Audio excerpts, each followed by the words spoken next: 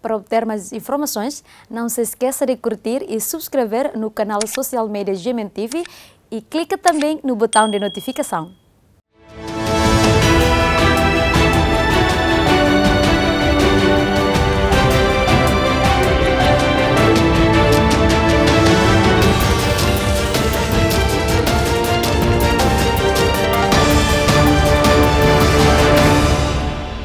Olá, telespectadores, bem-vindos novamente ao programa Cepalpé na ZMN. Como já sabemos, este programa tem como objetivo apresentar-vos as últimas informações ocorridas na comunidade dos países de língua portuguesa. Iniciamos com a primeira informação. O presidente da República de Portugal afirmou que o país cumpre as suas obrigações e assume em plenitude a sua posição na NATO. Marcelo recusou pronunciar-se sobre um eventual envio de tropas portuguesas para a Romênia. Não esperará que eu venha pronunciar-me sobre essa questão. Portugal tem uma posição que é conhecida. Portugal, além de ser um membro eh, muito interveniente da União Europeia, é um membro muito interveniente da NATO como é das Nações Unidas e de outras organizações internacionais, cumpre as suas obrigações e assume em plenitude a sua posição em qualquer destas instituições, nomeadamente na Aliança Atlântica, e isso significa que não só defende sempre a unidade dentro da Aliança Atlântica, como o papel reforçado da NATO no quadro geopolítico global, não apenas europeu, mas global, e cumpre as suas obrigações. Essas obrigações estão definidas a vários níveis e, naturalmente, como sabem também, nessa definição, o governo que conduz a política externa e de defesa tem um papel eh, determinante mas o Presidente da República Portuguesa e Comandante Supremo das Forças Armadas, presidindo ao Conselho Superior da Defesa Nacional, naturalmente que tem também um papel nesse domínio. Mais do que isto, entendo que se não pode nem deve dizer, neste momento, o que se pode dizer, já disse o Presidente Mauro de Paula, é que estamos empenhados num caminho de paz e de diplomacia, que reconhecemos os valores que são os valores do direito internacional, entre eles a soberania dos Estados e o seu direito a determinarem o seu destino, e que, enquanto membros de organizações internacionais, cumprimos as nossas obrigações no momento adequado, da forma adequada, e neste momento a forma adequada é criar todas as condições para que a diplomacia tenha espaço para se exercer. Essa é a prioridade. O presidente da Iniciativa Liberal de Portugal defendeu que o país deveria ter sido mais vocal e claro no apoio ao povo ucraniano. João Cotrim Figueiredo recordou que há no país mais de 40 mil pessoas de origem ucraniana. Portugal faz parte de uma série de, de organizações multilaterais eh, que condicionam a sua política externa, mas não está inibido de emitir opiniões sobre aquilo que se passa e mais do que se manifestar contra um bloco ou a favor de outro bloco nestas lutas geopolíticas, é mostrar-se a favor daquilo que se pode considerar os interesses do povo ucraniano que não pode ser um mero joguete entre superpotências ou uma forma de uh, chantagear uh, outras, outros blocos uh, para só obter aquilo que se quer geopoliticamente. E é isso que está a acontecer na Ucrânia e, mais uma vez, para honrar e para dignificar os muitos milhares de ucranianos que escolheram Portugal para viver e muitos deles para se naturalizarem, acho que devíamos ter sido mais focais nesse sentido, porque sempre que há um direito humano ou um direito cívico a ser espezinhado a alguns nas, nas, proximidades europeias ou noutras latitudes, devemos ser vocais, porque um dia podemos ser nós e gostaríamos que, que esse princípio não se perdesse só para acharmos que é, algum, é um problema de outros povos. Não. Sempre que há uma liberdade que está a ser atacada, para a iniciativa liberal, é, é algo que deve ser imediatamente denunciado e combatido. Não é possível fazer um escrutínio da atividade do Governo sem a presença do Primeiro-Ministro, a quem compete, em última análise, a condução política e a responsabilidade última das decisões que são tomadas pelos seus ministérios. Portanto, não vale ter um mecanismo de acompanhamento parlamentar que acabe por delegar a presença ou as respostas em outros responsáveis políticos que não o Primeiro-Ministro. E, em segundo lugar, não somos adeptos de formatos de debate que promovam um ping-pong ou um duelo mais superficial que não obtenham respostas. E, portanto, uma das sugestões que fizemos é que as perguntas que forem ser uh, colocadas nesses debates sejam conhecidas eh, previamente pela comunicação social, para saberem exatamente o que é que os partidos vão querer saber, para poderem vocês próprios fazerem o vosso trabalho de casa relativamente àquilo que está em causa e para poderem depois aferir se o Governo foi ou não foi capaz de responder cabalmente a essas questões, porque se conhecendo-nas antecipadamente não há qualquer desculpa para não dar uma resposta cabal.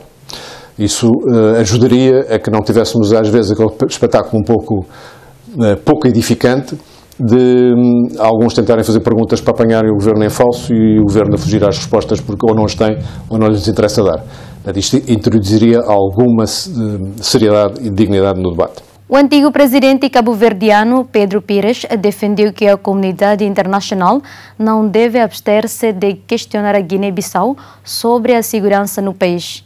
A declaração surge após a recente tentativa de golpe de Estado. Deve entrar em marcha já ou imediatamente a democracia preventiva, o exercício da democracia preventiva. É o, é o mínimo que se pode fazer. O que é que eu, uh, que opinião? Minimamente isso, façamos funcionar a democracia preventiva a fim de sanar a situação, a fim de normalizar a situação. É o exercício da democracia preventiva, para que se tenha em conta essa situação. Diz-me que e a União Africana? Eu acho que a, a União Africana não deve ignorar essa situação. Da mesma forma que eu acho que Cabo Verde não deve ignorar essa situação. Da mesma forma que eu acho que Angola não deve ignorar essa situação. Ou Moçambique, só para falar daqueles que estivemos juntos na luta de libertação. Não se deve ignorar, não, é, é, é, é algo que deve preocupar-nos, da mesma forma que a mim me preocupa. Em Portugal, a falta de água está a gerar preocupação no setor agrícola no Algarve.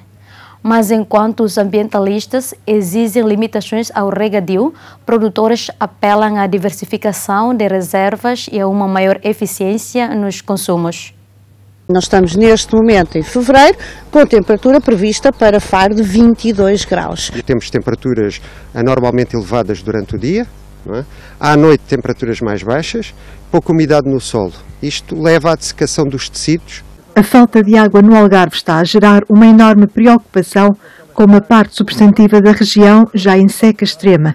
Mas enquanto os ambientalistas exigem limitações ao regadio, sobretudo de abacates, autoridades e produtores apelam à diversificação de reservas e a uma maior eficiência nos consumos.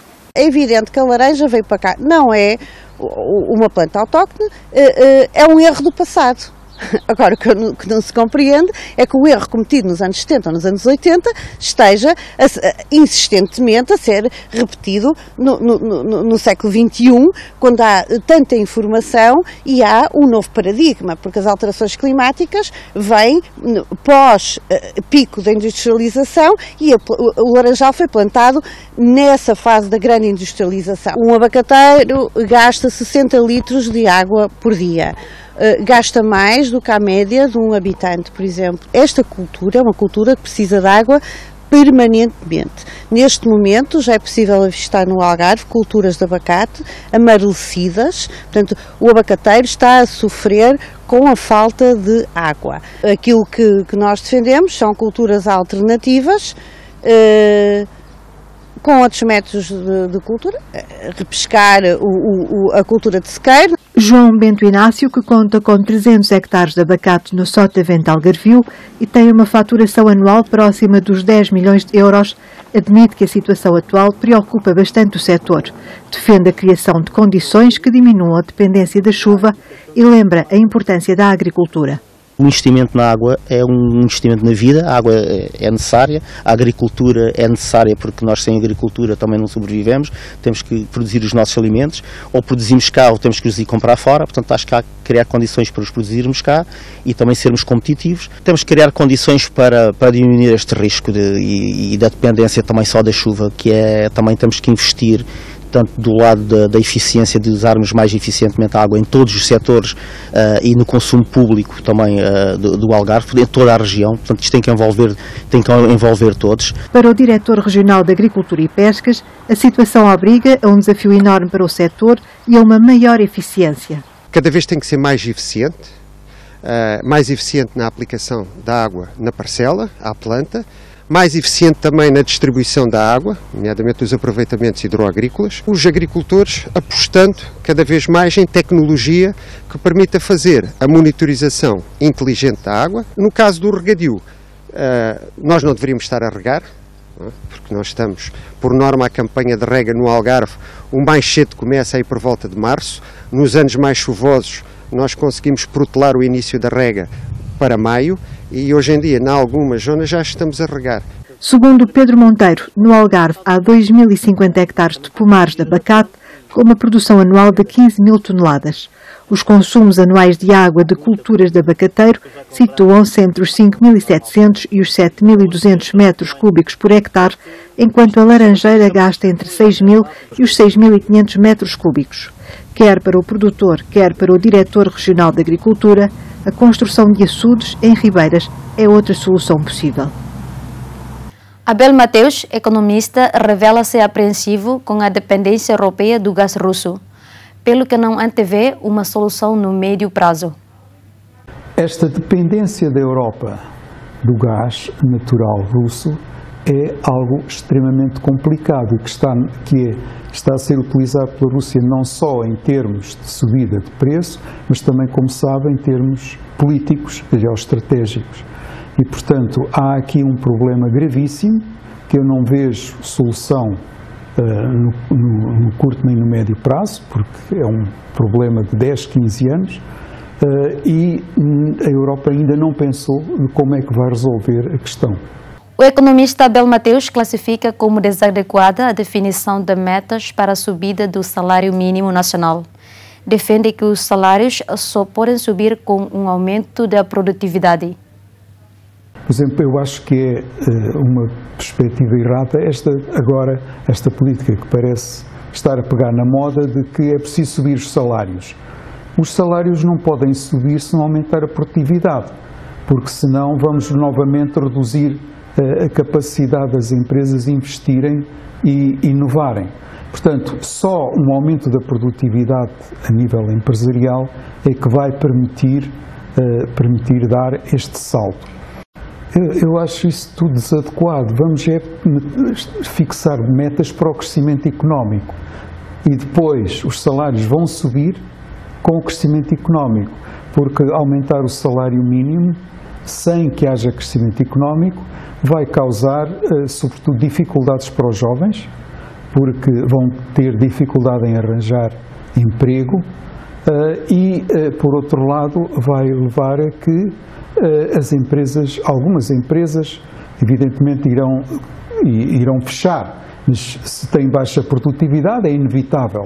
Mas não é a forma de desenvolvermos um país. Eu nunca vi nenhum país desenvolver-se, e já trabalhei 20 anos em organizações internacionais e andei a aconselhar muitos países à volta do mundo, nunca vi nenhum país ter como política fundamental subir o salário mínimo.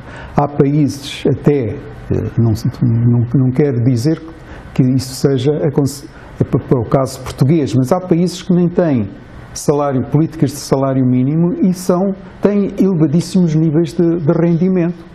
A porta-voz do PAN de Portugal afirmou que o primeiro-ministro comprometeu-se a acolher no orçamento as matérias que foram negociadas com o partido. Apontou que estão previstas novas reuniões sobre a proposta. Tivemos também a oportunidade de falar sobre o orçamento do Estado. Houve o compromisso por parte do Governo de que as matérias que já tinham sido negociadas com o PAN para o Orçamento do Estado 2022 vão estar acolhidas efetivamente uh, nesta proposta que vai ser agora apresentada à Assembleia da República, uh, nomeadamente, e, recordo que tínhamos já negociado para que os transportes públicos possam ter um reforço significativo para a sua maior eficiência, algo que é fundamental não apenas para o cotidiano das pessoas, mas também para combatermos de forma mais eficaz eh, as alterações climáticas e a descarbonização da nossa economia e dos transportes públicos. Por outro lado, também no combate à pobreza energética também estará vertido no Orçamento do Estado para que haja apoios mais diretos e para que Portugal deixe de ser uh, um dos países da Europa onde mais se morre de frio uh, no inverno ou de calor nos picos também do verão. E isto para nós é absolutamente essencial. É uma medida não só social como ambiental e medidas em matéria de proteção animal, como os hospitais públicos veterinários, estarão também vertidos neste Orçamento do Estado, considerando o compromisso do Governo com estas matérias. O porta-voz do Grupo de Contacto do Livre fez um balanço positivo da primeira reunião do partido com o Primeiro-Ministro, mas considerou que os encontros entre a esquerda devem ser plurais e constantes. Eh, tal como disse, esta é uma primeira reunião e sim, a abertura para o diálogo está plasmada no, no convite que nos foi feito. Agora, mais do que uh, reuniões entre partidos e o governo, e neste caso o Partido Socialista, trata-se para o livre da convergência tem que ser mais alargada, porque só uh, uma das coisas que também que falamos lá dentro trata, passa por uma, um novo um novo modelo de desenvolvimento para o país. Um novo modelo de desenvolvimento para o país que junte uh, contribuições além do governo, além do LIVRE, dos outros partidos de esquerda e dos partidos ecologistas e progressistas. Achamos que essa, que essa pluralidade da esquerda e da ecologia é essencial para fazer uma boa, um bom plano para um novo modelo de desenvolvimento. E essas reuniões têm que ser plurais, não pode ser livre PS, bloco PS, devem ser plurais e devem ser constantes, porque acreditamos que, apesar da maioria absoluta, uh, o Partido Socialista tenderá a atender com mais facilidade, pressionado por isso, se a esquerda, LIVRE, Bloco, PCP e o PAN, não englobando na esquerda por vontade deles, uh, conseguem encontrar pontos em comum para poderem negociar. A coordenadora do B de Portugal opôs-se a um processo de revisão constitucional. Catarina Martins defendeu que eventuais alterações à lei eleitoral devem ser pontuais para resolver problemas relacionados com os votos dos imigrantes. Como sabem, nós estivemos reunidos com o Sr. Primeiro-Ministro a pedido do próprio sobre a próxima legislatura. Transmitimos três preocupações ao Sr. Primeiro-Ministro, duas delas sobre o que se fará na próxima legislatura, uma outra sobre a atualidade. Em relação à próxima legislatura, transmitimos a oposição do Bloco de Esquerda à abertura de um processo de revisão constitucional e também a nossa posição de que alterações à lei eleitoral devem ser feitas apenas pontualmente e para resolver problemas que temos temos vivido, nomeadamente como os votos da imigração, para permitir que haja condições de toda a gente exercer o seu direito de voto na melhor eh, forma possível. Transmitimos, para além disso, ao Sr. Primeiro-Ministro a oposição do Bloco de Esquerda a que tropas portuguesas integrem contingentes da NATO envolvidos no conflito na Ucrânia ou nas, na fronteira com a Ucrânia.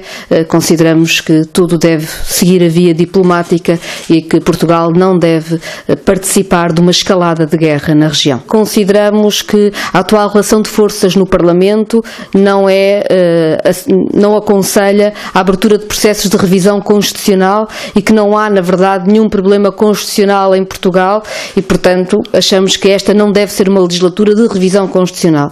O mesmo sobre a lei eleitoral, excetuando a resolução do problema pontual que temos com os votos da imigração e que devem ser resolvidos. Em relação à Ucrânia e ao envolvimento de tropas portuguesas em forças da NATO uh, com este conflito, é conhecida e é pública a divergência que o Bloco de Esquerda tem sobre a nossa integração na NATO. Uh, esperamos que sobre este conflito em concreto seja bom que Portugal se mantenha do lado da paz, do lado do diálogo e não colabore na escalada militar na escalada de guerra na região. O secretário-geral do PCP de Portugal alertou que não é responsabilidade delegável com um governo com maioria absoluta.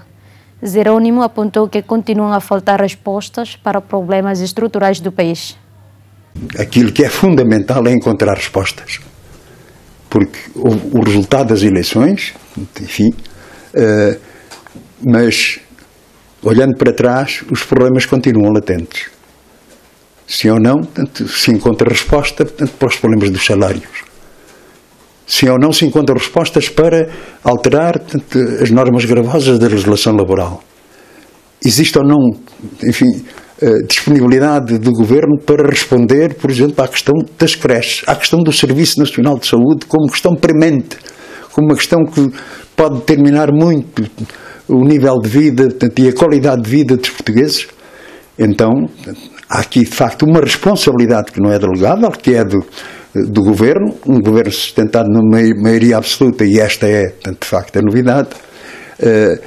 Eu não queria fazer juízes de valor precipitados, mas é natural a preocupação, tendo em conta, como digo, que o Partido Socialista fica com as mãos livres para fazer o que o que entende em termos, em termos políticos, obviamente. Não estamos a falar de questões de regime, de liberdades, de democracia, não é isso que está em causa, é as coisas concretas que, que precisam de respostas concretas e que, eh, tendo em conta o passado recente, eh, não vemos essa disponibilidade para a consideração eh, desses problemas.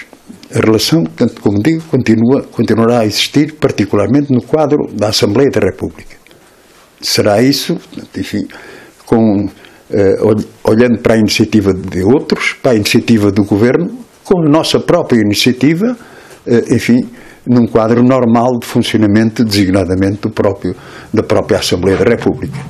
Portanto, creio que isto. Uh, é, não há, portanto, é evidente, portanto, se existir portanto, uma matéria de regime, portanto, sei lá, portanto, desde as questões da regionalização uh, ou outras, uh, que tem de existir portanto, esse, esse diálogo.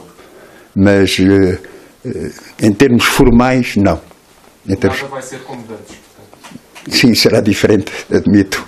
O presidente do PSD de Portugal afirmou que a decisão do Tribunal Constitucional de mandar repetir a votação no Círculo Eleitoral da Europa dá razão aos protestos do partido.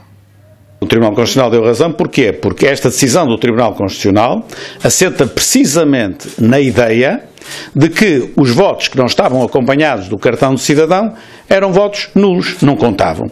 E, portanto, como pegaram nos votos que eram nulos e misturaram com os outros, agora não se sabe qual é qual e, portanto, eh, teve a urna toda de ser anulada. Portanto, a decisão do Tribunal Constitucional vem-nos dar razão, mas devo dizer que isso é mais do que óbvio, porque o texto da lei é claro. A lei diz que o voto tem de ser acompanhado de fotocópia do cartão de cidadão.